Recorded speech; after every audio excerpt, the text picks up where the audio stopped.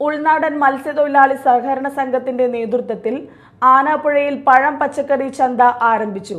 Advocate V R Sunilkumar M L A ഉദ്ഘാടനം ചെയ്തു. Matsyafed board member Sheela Raj Kamal ആദ്യ വിൽപ്പന നിർവഹിച്ചു.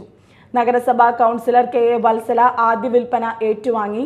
മത്സ്യഫെഡ് ജില്ലാ manager N Geetha project officer Sajitha K G Sivanandan advocate V S Dinal P K Sajeevan M P Kabirdas എന്നിവർ സംസാരിച്ചു.